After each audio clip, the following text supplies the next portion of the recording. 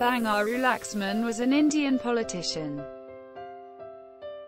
He was a member of Bharatiya Janata Party and Rashtriya Swayamsevak Sangh. He was president of party from 2000 to 2001 and served as a Minister of State for Railways in Government of India from 1999 to 2000. He was sentenced to four years in jail for defense deal corruption case. Bangaru Laxman was born in a Madiga Dalit family in Andhra Pradesh. His father was late B. Narasimha and mother was late B. Shivamma.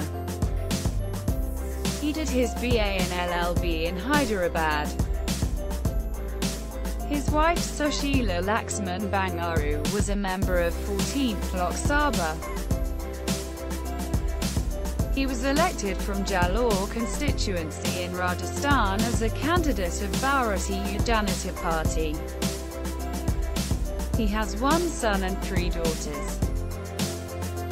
He died on 1 March 2014 at the age of 74. Owing to health, Laxman joined politics at a young age.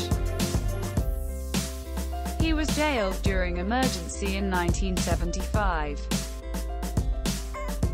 He was elected to Rajya Sabha in 1996.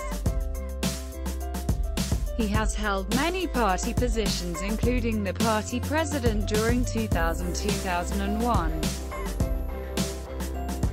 He was the first Dalit president of BJP.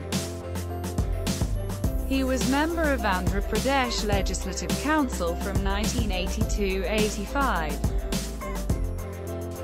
He was member of Rajya Sabha representing Gujarat from 1996 to 2002. He served in the Council of Ministers as Minister of State for Planning, Statistics and Programme Implementation from October to November 1999 and Ministry of Railway from November 1999 to August 2000.